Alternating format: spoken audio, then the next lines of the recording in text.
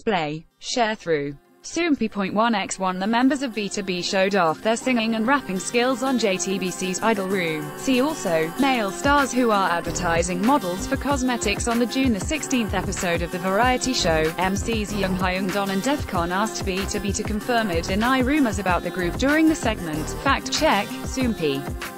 Display, News, English .300x250, BTF Soompi. Mobile. English .300x250, ATF Jung Hyung Don first asked BTOB about the statement. BTOB is a vocal-rich, rapper-rich group made up of seven vocalists and seven rappers.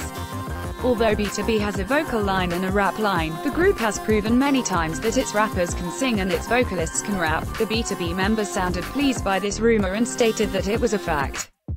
When asked who was the group's main vocal, Min Hyuk confidently replied, You could call all of our vocalists main vocalists.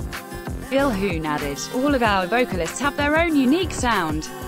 Jung Hyung Don asked the group what they would do if Eunkwang weren't present for a performance of Missing You, and they answered that anyone could fill in for him. Yuk Sung Jae added, When that happens in real life, we don't even discuss it in the dressing room.